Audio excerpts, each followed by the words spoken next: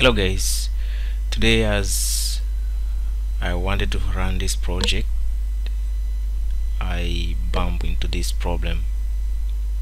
Uh, this is finished project but when I start I try to start the project and I got this java.lang class not found exception.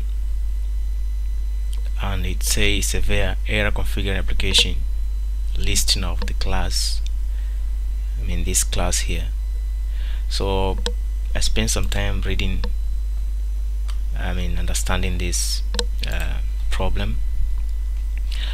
And then I I realized that um, what you have to do when you're Eclipse actually I'm running this is an Eclipse and I'm using Tomcat um, server. So it's Apache Tomcat 9 so what I did uh, was to by adding the Maven dependency in the project web uh, web deployment assembly.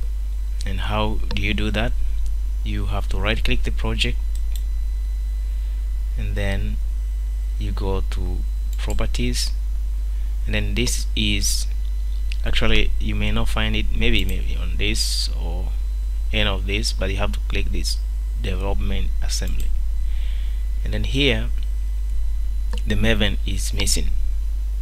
So you, if you don't have Maven here on this web deployment assembly which define the packaging structure for the uh, for the Java EE web application project so you will experience the same problem. You see? So you have to click add and then you go to Java build path entries next. And then you see Maven dependencies. Click that one and then finish. And then you have it here. And then you apply and then you close. And then you see some changes will be updated. And then when we try to run this project again uh, run on the server.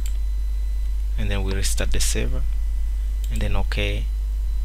And then we see now the project is running. And then I get the all the console and it's no any problems.